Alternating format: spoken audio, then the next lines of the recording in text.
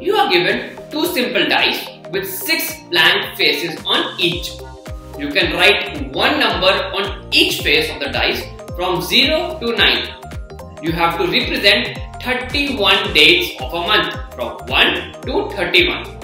For example, one dice should show 0 and another should show you 1. Similarly, for 29, one dice should show you 2 and the another dice should show you 9.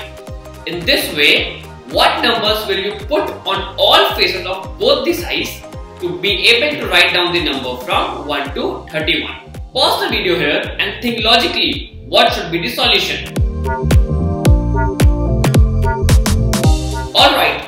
The date range from 1 to 31, there are dates like 11 and 22 where both the individual digits are same.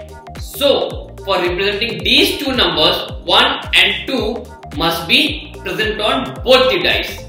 Similarly, to show 01, 02, 03 till 09, 0 should be present on both the dices. Therefore, we are occupied with 3 faces on both the dice with numbers 0, 1 and 2. Total 6 faces occupied, remaining are 6 faces and numbers to be put are 7 that is 3, 4, 5, 6, 7, 8 and 9.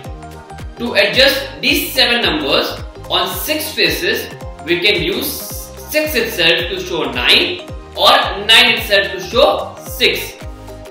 Hence the rest 6 faces with numbers 3, 4, 5, 6, 7, 8 will serve the purpose. The numbers on each face of both the dice are on the screen.